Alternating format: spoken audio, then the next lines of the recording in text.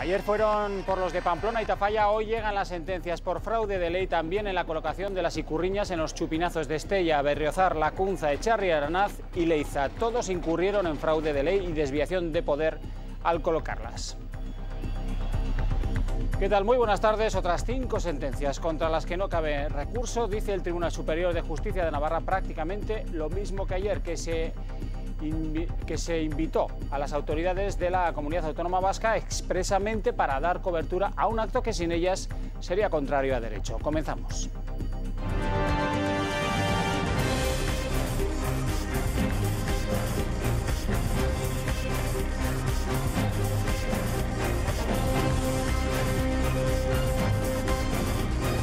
Servicios informativos de Navarra Televisión.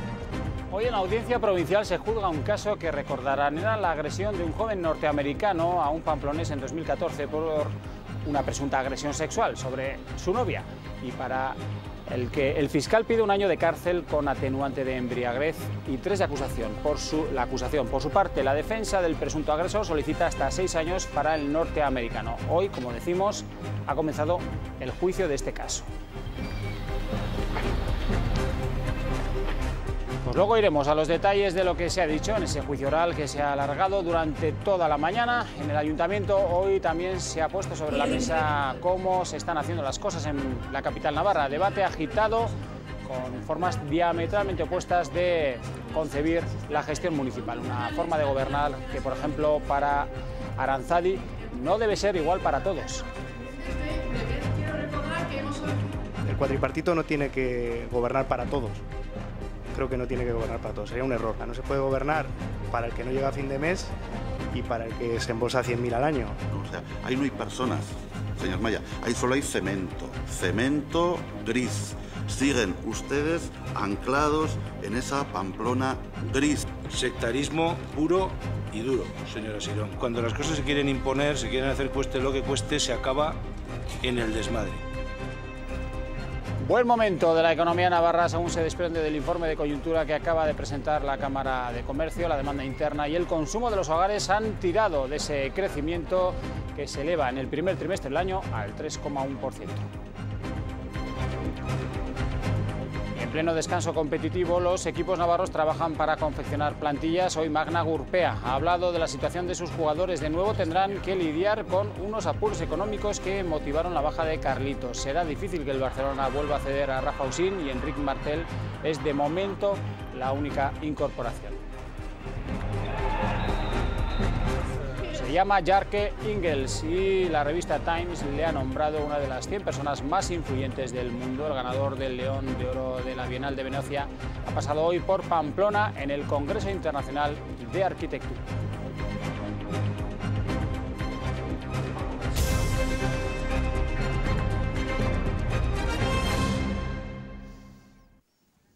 El Tribunal Superior de Justicia de Navarra ha concluido que los ayuntamientos de Berriozar, Estella, Lacunza, Echarri, Aranaz y Leiza incurrieron en fraude de ley y en desviación de poder al colocar la Icurriña en sus respectivos chupinazos. Con estas cinco sentencias contra las que ya no cabe recurso y junto con otras dos que ya se notificaron ayer de Pamplona y Tafalla, la Sala de lo Contencioso Administrativo unifica el criterio sobre el izado de las Icurriñas al comienzo de las fiestas patronales y según exponen los magistrados, los ayuntamientos no las colocaron, no colocaron la bandera de la comunidad autónoma vasca porque hubieran acudido autoridades de esa comunidad, sino que se les invitó expresamente para dar cobertura a un acto que sin esas, que sin esas personas hubiera sido contrario a derecho.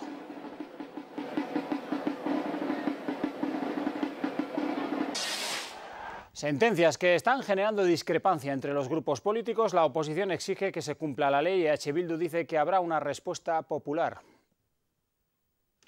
Tras la sentencia que concluye que la colocación de la Icurriña los pasados Sanfermines fue fraude de ley, EH Bildu advierte. Yo creo que el pueblo va a ser capaz de responder a esta provocación que entendemos que supone eh, no respetar que determinadas mayorías también consideren símbolos como propios eh, estos símbolos y por lo tanto yo lo que creo que va a haber es una respuesta popular.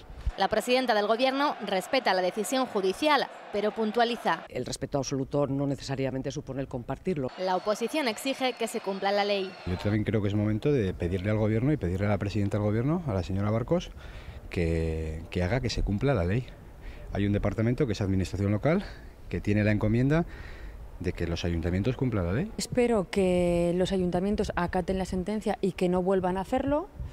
Pero bueno, esperar eso del Ayuntamiento de Pamplona, viendo todas las polémicas que nos tienen acostumbrados un día y otra quizás es esperar mucho. De fondo, el debate sobre reformar la ley de símbolos. Este Parlamento tiene de cara al próximo curso político la vocación y voluntad de acometer una reforma de la ley de símbolos que permita precisamente que esto no se, no se produzca. La sentencia de ayer lo que pone en evidencia y lo que pone de manifiesto es la urgente necesidad de modificar la ley. Los demás, cuando no nos gustan las sentencias, las acatamos.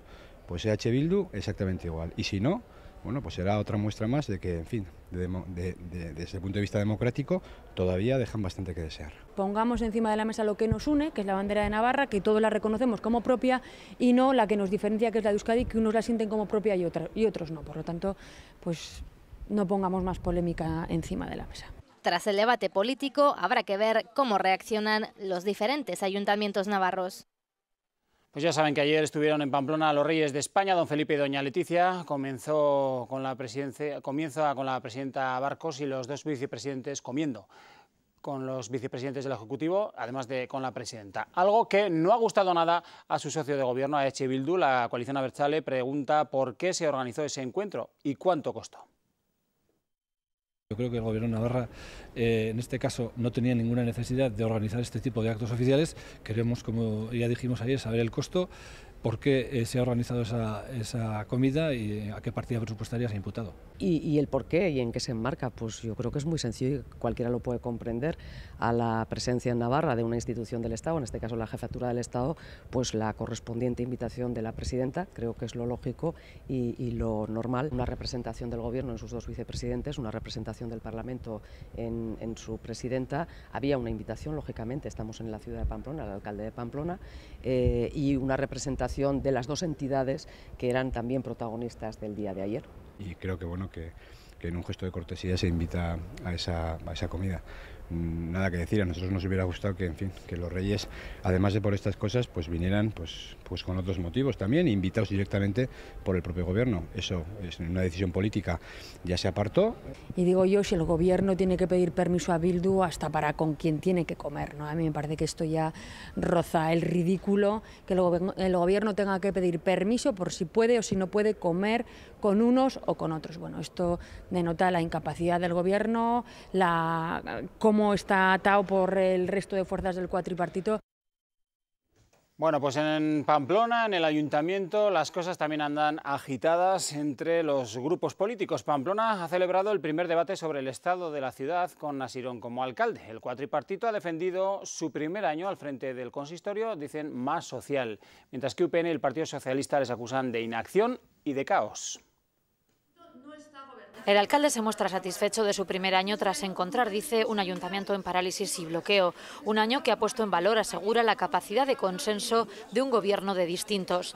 Reconoce que faltan cosas por hacer y ha anunciado un plan estratégico que se presentará en octubre. Destaca los 5 millones más en inversiones y recuerda que se ha aprobado una normativa cada 52 días. La oposición critica, sin embargo, su inacción y falta de acuerdo en temas como las escuelas infantiles, el asentamiento del club de tenis y le acusan de gobernar para unos pocos todo a sus afines, empezando por los gasteches, imponer un nuevo modelo de escuelas infantiles en contra de muchos padres y madres y educadoras, sectarismo puro y duro, señora Sirón.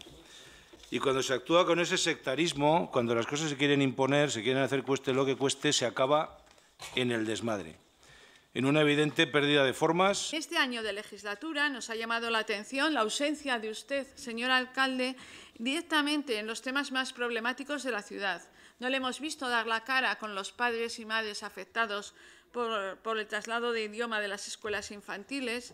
El señor Maya ha, dicho, ha hecho una enumeración de la cantidad de cosas que no se han hecho, pasarelas, puentes, edificios, tal, todos tienen una cosa en común, ¿no? O sea, ahí no hay personas, señor Maya, ahí solo hay cemento, cemento gris. Siguen ustedes anclados en esa Pamplona gris. ¿Dónde están los problemas de seguridad ciudadana? Yo no los he visto por aquí en ninguna de las intervenciones. Los escándalos en urbanismo, las lamentables escenas de desahucios en esta misma ciudad donde están Los actuales socios de gobierno acusan a UPN y PSN de hacer una oposición que solo se dedica a desacreditar. Tópico, típico, pobre, porque ha dicho lo mismo que vienen diciendo siempre. Es el discurso del alboroto por el alboroto de la bronca por la bronca. Esa es su aportación a Pamplona. Que ha sido un año de normalidad política, muy lejos del caos y de la pérdida de identidad que algunos agoreros vaticinaron entonces. Un año después podemos decir que el cambio no era sinónimo de caos, sino precisamente de lo contrario. El cuatripartito no tiene que gobernar para todos. Creo que no tiene que gobernar para todos. Sería un error. No se puede gobernar para el que no llega a fin de mes y para el que se embolsa 100.000 al año. No se puede gobernar para el que... Una acción de gobierno que mira las necesidades de la gente a la cara, sabiendo que no es capaz de resolverlas de un día para otro, ni tiene varitas mágicas que ustedes, desde la demagogia y la hipocresía, nos exigen una y otra vez.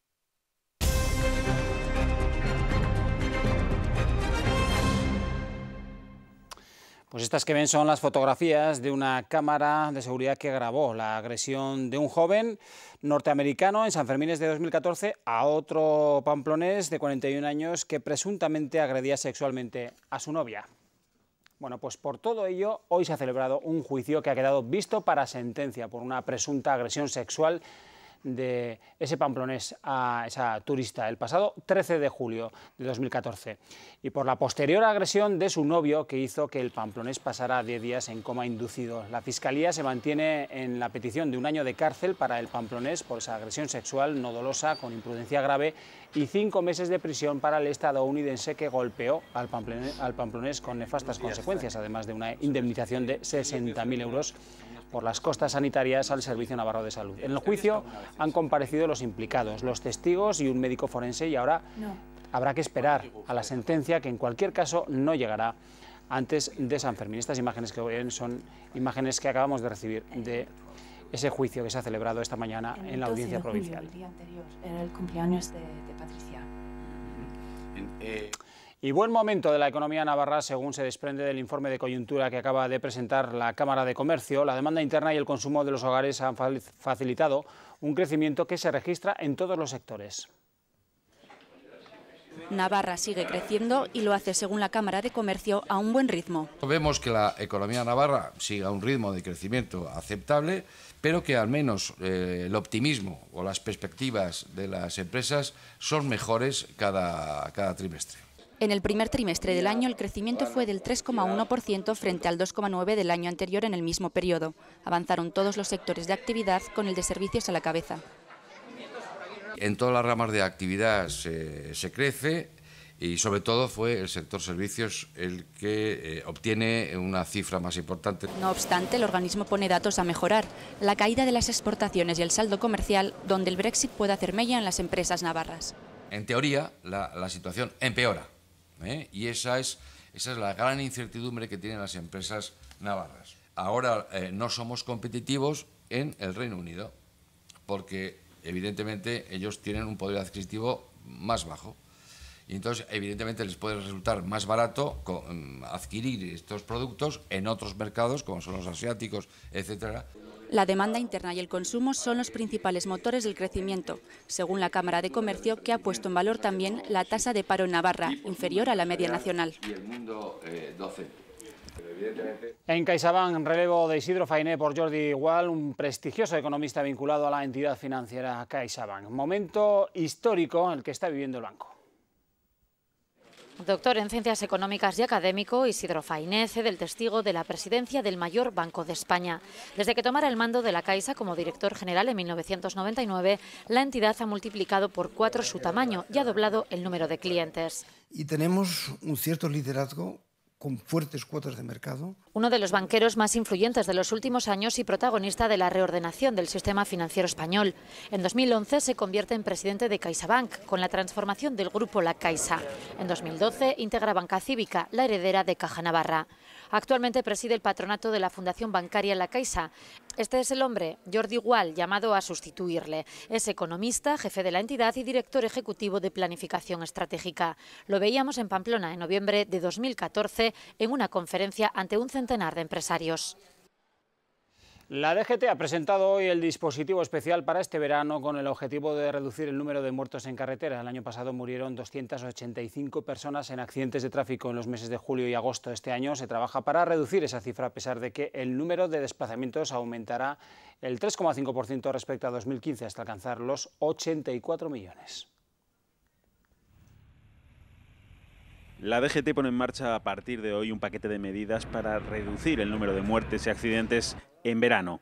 Así, por ejemplo, se van a señalizar de manera especial, en color naranja, los 300 tramos más peligrosos del país en carreteras convencionales, en los que se intensificarán los controles de velocidad. Permítanme que eh, nos ratifiquemos en la estrategia de seguir trabajando para mejorar la seguridad en esas vías que a día de hoy tienen el mayor volumen del tráfico, el mayor volumen de accidentes y el mayor volumen de fallecidos. Además, se van a poner en marcha 60 nuevos radares ligeros que llevarán los agentes en sus propias motos. El parque de radares, entre fijos, móviles y los nuevos ligeros, asciende ya a 826 en todo el país. También se intensificará la vigilancia en autovías y autopistas con las llamadas Pegasus, cámaras instaladas en helicópteros. Entra en vigor hoy porque no queremos que haya 285 muertos durante el verano. Pues y aún, uno tiene que respetar la velocidad siempre, haya o no haya radar, haya una señal amarilla o no haya una señal amarilla. La operación especial del verano arranca mañana y se alarga hasta el 31 de agosto. Entre el 1 y el 3 de julio, primera fase de la operación salida, se esperan 4 millones de desplazamientos para un total de 84 millones este verano. 10.000 personas entre agentes de la Guardia Civil y personal de la DGT velarán por nuestra seguridad. Cruz Roja Navarra ha atendido durante 2015 a un total de 40.000 personas, algo más de 40.000 personas, por situaciones de pobreza. Realizó 26.000, 27.000 entregas de ayudas directas de primera necesidad y casi 6.000 más que en 2014. La institución ha detectado que estas situaciones se agravan y son más complejas que en años anteriores, por lo que el nivel de intensidad en la atención es mayor. Y van a conocer a una persona de relevancia internacional en el mundo de la arquitectura. De hecho, está en la lista de la revista Time entre las 100 personas más influyentes del mundo. Hoy ha participado en el Congreso Internacional de Arquitectura y Sociedad celebrado desde ayer en Baluarte. Se llama Jark Ingels y ha sido uno de los ponentes, entre otros temas. Se ha abordado las estéticas de la energía, destacando la arquitectura vernacular, que trae la sabiduría de nuestros antepasados al utilizar materiales locales que adaptan las construcciones al clima propio de cada lugar. También se ha elogiado la figura del arquitecto en España. El Congreso de, se va a clausurar esta misma tarde.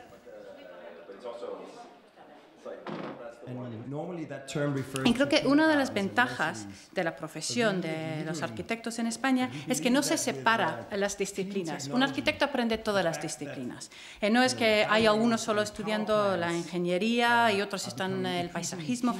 Un arquitecto español aprende a hacer todo eso, con lo cual puede hacer sus propios cálculos en los diseños sin tener que pasar de consultoría a consultoría y tener que lidiar con un montón de profesionales distintos.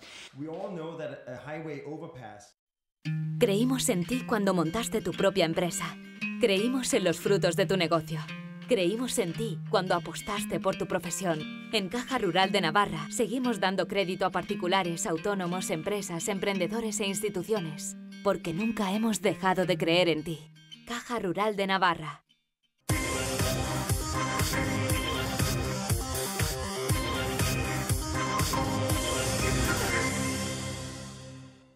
Otro año más, Sota tiene que esquivar la delicada situación económica a la hora de confeccionar su plantilla. Hoy han anunciado novedades y la situación del plantel. La baja de Carlitos es la única oficial hasta el momento. Sin embargo, habrá más. Pablo Ibarra y Álvaro se irán cedidos. El primero fue en Labrada de segunda B con aspiraciones de ascender. El segundo busca destino. Rafa Sin finaliza su contrato de cesión y volverá al Barça, con lo que, si no hay un nuevo préstamo, Sota le buscará un recambio. Seguimos buscando porque hay que cubrir la baja de, Rafa y, ya te digo, en el mercado nacional de ese perfil hay más bien poco o, a estas alturas nada.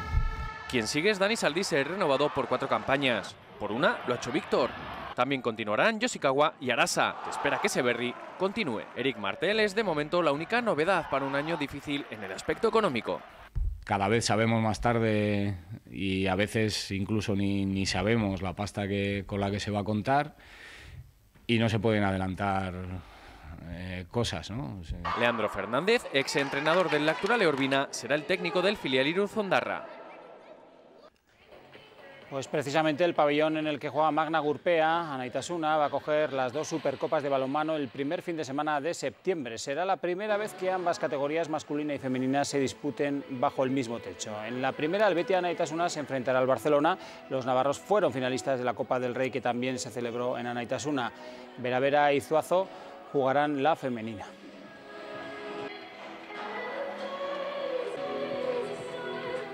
Y los pies son la principal herramienta de la gran mayoría de los deportistas, pero también de cualquier ciudadano para moverse. Y a veces son una parte del cuerpo que olvidamos, aunque poco a poco la población va tomando conciencia de la importancia de cuidarlos.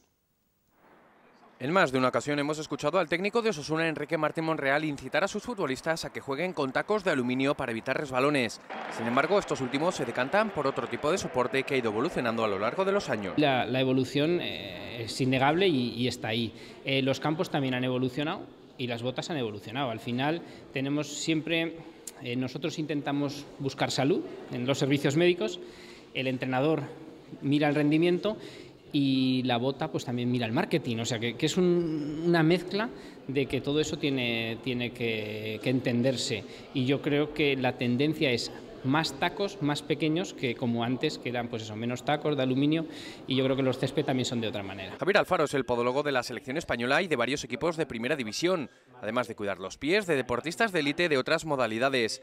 Ha estado este mediodía en la inauguración del centro Podoactiva y recién llegado de la Eurocopa de Francia nos ha revelado quién es uno de los internacionales que más se cuida en este aspecto. Javi Martínez, eh, pues agradecemos mucho que él, estando lejos, cada vez que viene eh, pues aprovecha a revisar sus plantillas, a tratarse con nosotros y eso pues claro, para nosotros es, es importante que Jolín, en, su club seguro que tiene servicios muy buenos y él sigue confiando en nosotros como cuando estaba aquí. La importancia de un estudio no se cierne solo a los deportistas profesionales. Los pies son nuestros cimientos, tenemos dos, tienen que durar toda la vida y los tenemos que cuidar.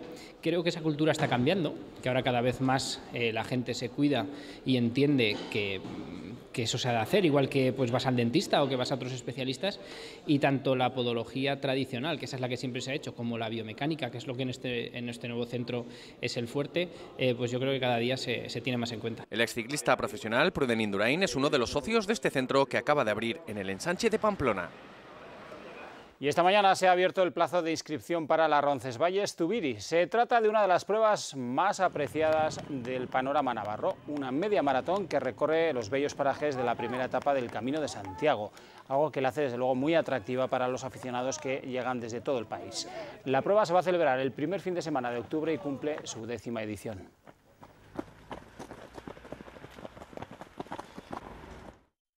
Creímos en ti cuando montaste tu propia empresa Creímos en los frutos de tu negocio. Creímos en ti cuando apostaste por tu profesión. En Caja Rural de Navarra seguimos dando crédito a particulares, autónomos, empresas, emprendedores e instituciones, porque nunca hemos dejado de creer en ti. Caja Rural de Navarra. La Peña de la Jarana ha anunciado que el bombo de este año, 2016, es para Maribí Esparza, esta mujer que muchos van a conocer por ser la encargada de poner el santo en la hornacina todas las mañanas antes de que se corra el encierro. Bueno, pues además la Peña ha presentado la carrera del encierro que se celebra el próximo 3 de julio coincidiendo con el Día del Socio de la Peña.